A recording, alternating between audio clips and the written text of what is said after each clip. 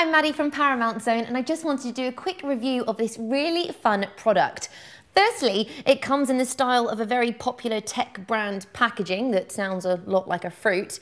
And here we go. But no, it's not a popular smartphone. It is in fact a shaver. Who would have thought? Just take off the lid here and here we have the shaver inside and we have an on and off button like that and you just recharge it using USB. It's really compact and slick in design and I think it would be a great gift for someone who rushes in the morning to the office or likes to keep looking their best all throughout the day. It's a fun gift, perhaps for a stocking filler, who knows. For more ideas, you can go to ParamountZone.com.